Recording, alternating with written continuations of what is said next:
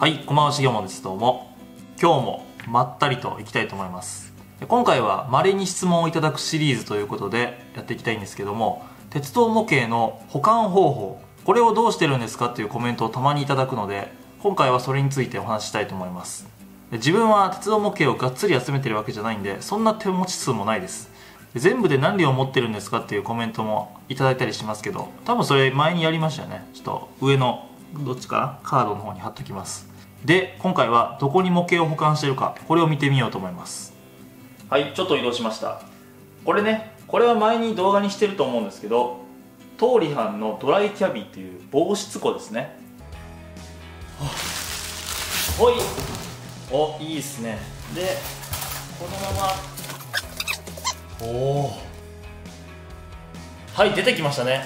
箱よりも一回りちっちゃい感じですね。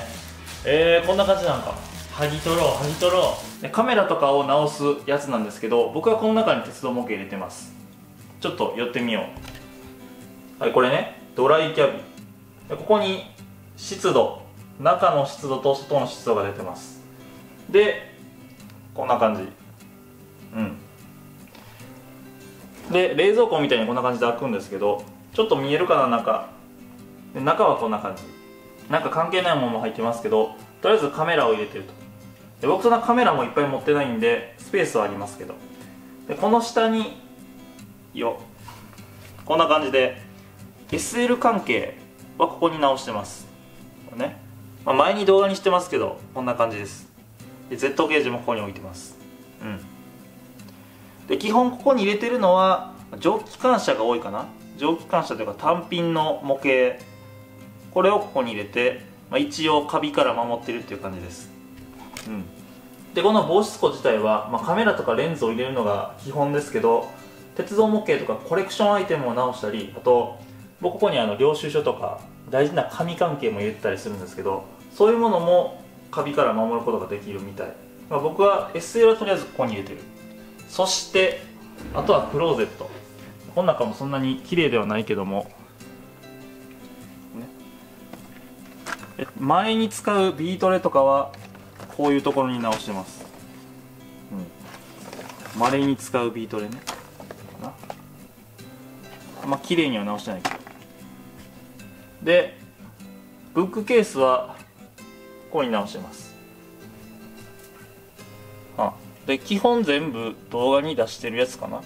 動画に出してないものはないかな。ね。でいつか作った段ボールトンネルもここにあります。こんな感じ。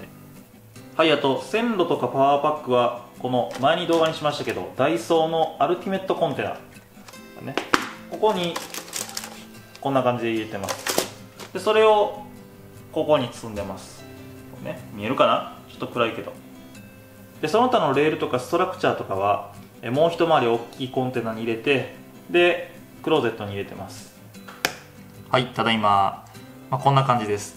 SL とかの単品車両は防湿庫に入れててその他のブックケースは普通に本棚に立ててます、まああいうのも本当は防湿庫に入れたいんですけど入らないんでね。その大きさ的に仕方ないんで本棚に立ててるっていう感じです。で基本僕は車両もレールもこの動画を撮ったり遊んだりした後は毎回片付けるのでいつもあの形になりますね。でレールとかパワーパックはあのコンテナに絶対入れて直します、うん。まあ、今のところ収納できてますけどもし今後模型を買い足すってなったらちょっと狭くなるかもしれないですね。はい、というわけで今回はシゲモンがどういう風に鉄道模型を収納しているかっていうお話でした、まあ、参考になればいいですけどご家庭の間取りとかもあると思うんで100均のアイテムは結構活用してるんで使えるんじゃないのかなと思います。それではまた次の動画でお会いしましょう。どうもありがとうございます。画面をタップすることでチャンネル登録と関連動画見れますのでぜひ登録とグッドボタンよろしくお願いします。それではさよなら。